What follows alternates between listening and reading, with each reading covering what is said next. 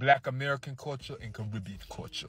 One, people in the Caribbean represent their culture first, race second. The ones that know they black, they'll say they black, but when asked to represent what they represent, they're gonna say their country and their culture. Well, black Americans, if you ask what they are, they just gonna say black, black, black. Most won't say they black American unless they live in a place where multiple ethnicities of black people. Most just gonna say black.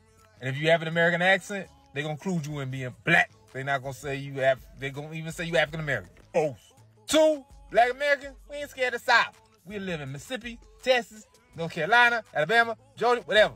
People from the Caribbean islands. Now, I ain't gonna say all, but most ain't gonna go past Central Florida, Atlanta, Georgia, North Carolina areas, and maybe a little bit Texas. Most, yeah. They staying out of the South. They moving to the Northeast, the major city areas, South. They ain't going there. Culture pride. Most people in the Caribbeans, I ain't gonna say no names, but you know who they are. They love their culture with their culture flag everywhere. Black Americans, only time you see them wearing an American flag, they in the Olympics or they Republican. Four, African spirituality. Most black Americans stand far away from that. You say you messing with some spirits or something like that, grandma go say, y'all, you messing with the devil. Now, some Caribbean people feel the same way, but you'll find more that's into, you know, African spirituality than way more than the black American. Everybody in the Caribbean got some family that's into that.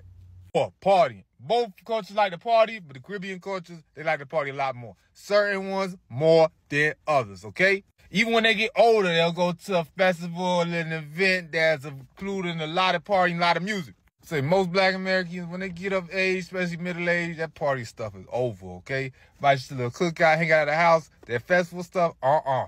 Too much noise, and they say the young people don't know how to act. If you want to see more culture comedy content, click the plus button right. If you want to see a part two, like it up and comment up.